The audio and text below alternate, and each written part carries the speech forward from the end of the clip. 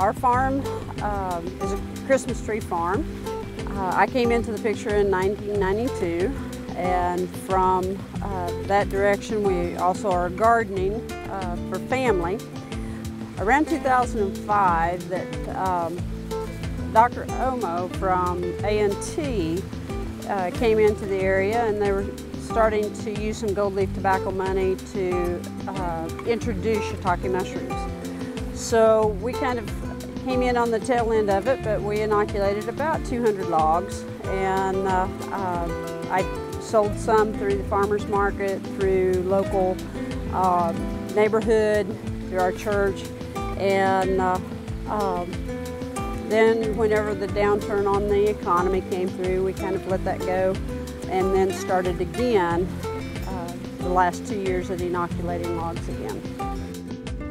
You know, mushrooms are a, a delicious crop that, uh, that was fairly unusual perhaps, you know, 20, 30 years ago, but have had several uh, adoptions or renaissances here in North Carolina. Of the different species that can be cultivated, shiitakes are one of the easiest because they can be grown on logs and they are a delicious mushroom. They're you know, wonderful on a grill, wonderful to fry. You can stuff them. Um, folks who enjoy regular button mushrooms from the grocery store uh, generally like shiitakes even more. There, over the past 15 years, there probably have been about four dozen people actively growing shiitake mushrooms commercially.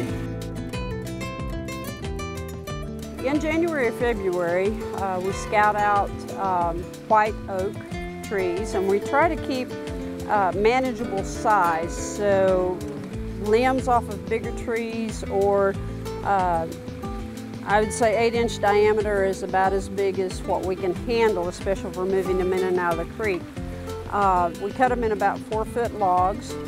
After uh, harvesting the logs, that in February, March, that we'll start inoculating. And inoculating is taking um, the mycelia that is in a sterile sawdust and we drill holes every four inches down the log and then all the way around the log.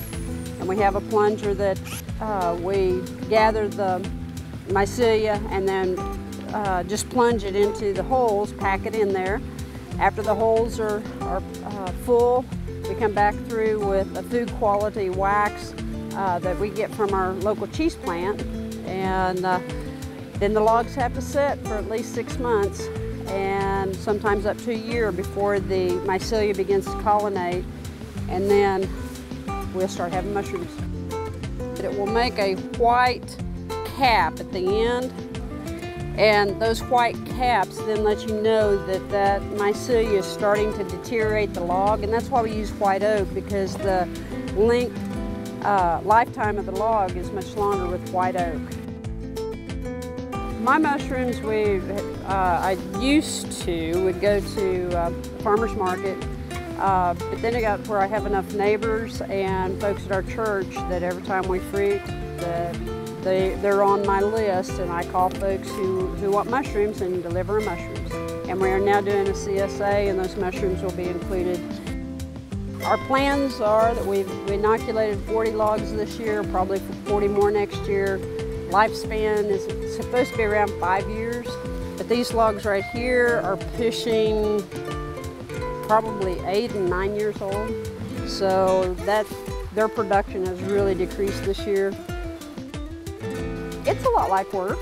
Uh, and I think that's why some other folks uh, thought, ooh, this is gonna be cool. But you know, carrying these logs down to the creek and then dragging them out of the creek and but we love eating them uh, and they're delicious mushrooms so even when we weren't marketing them we were still our family was, uh, was cooking and freezing and, and really enjoying them.